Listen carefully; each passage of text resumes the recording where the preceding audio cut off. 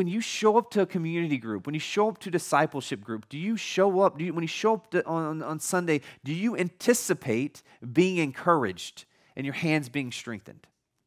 Like, I've never thought about it that way. Well, may from henceforth, forevermore, may you in those spheres expect that if you need your hands strengthened, that when you show up to these, these, these means of grace that God has given his people, his church, that man, God's going to do what he's going to, he said he's going to do through shared relationships, through the church, through community, through the preached word. He's going to strengthen your hands, strengthen your heart, give a readiness to your feet to do what he has called you to do.